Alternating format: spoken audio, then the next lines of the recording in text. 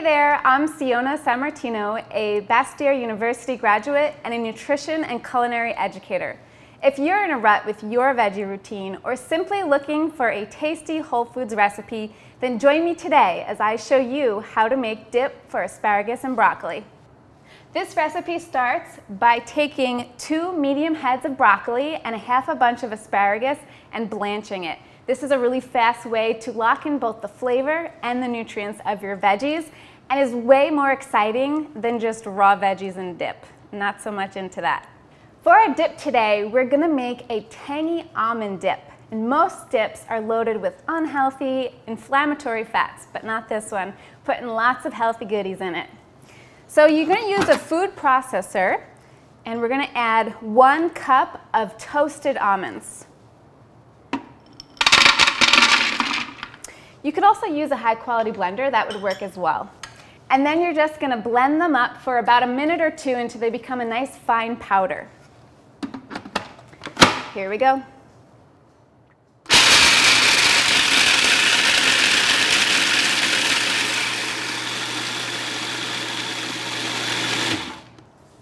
All right, we're gonna add three to four tablespoons of coconut milk. This is gonna add a creamy luxuriousness to our dip.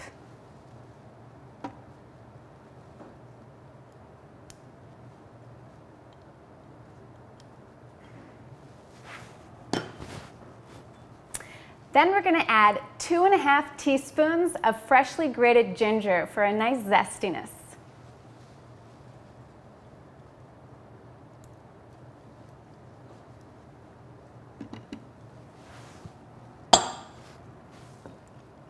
We're also gonna add two to three medium cloves of garlic that I've minced.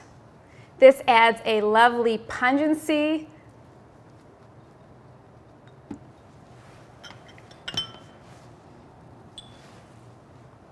For sweetness, we're gonna add two tablespoons of maple syrup.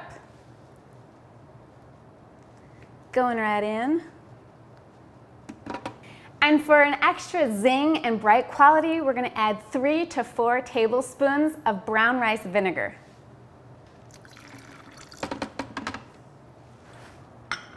I love how easy this recipe is. All you gotta do is whir it up. And you want to do this until it's nice and creamy and there's no more clumps detectable. Here we go.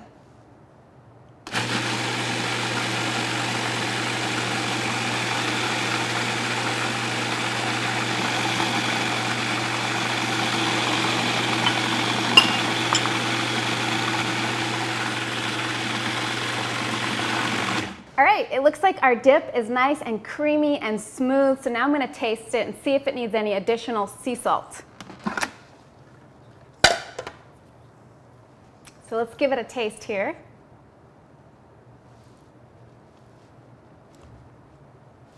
So good, lots of bright flavors, zing, it's satisfying, rich, and delicious. If your flavors aren't popping or you feel like you need to bring your flavors together more, go ahead and add a pinch of sea salt. But otherwise, it may not be necessary. We're gonna garnish this dip with one teaspoon of roughly chopped toasted almonds. It's gonna add a nice additional crunch. And then we're gonna use just a pinch of either cayenne pepper or paprika for a nice pop of color.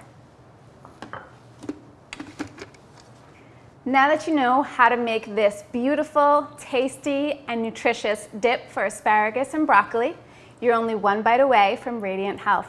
I'm Siona Sammartino. Thanks for joining me in the Bastyr Kitchen. I'll see you next time.